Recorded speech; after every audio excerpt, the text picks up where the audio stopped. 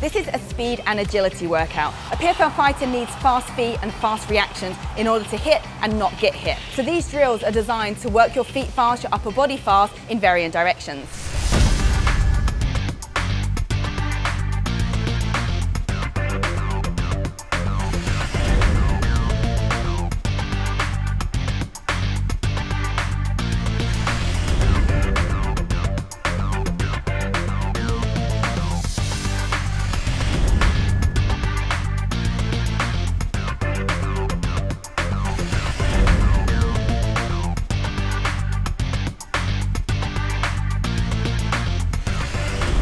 You at the PFL playoffs beginning October 5th on Facebook Watch and NBCSN.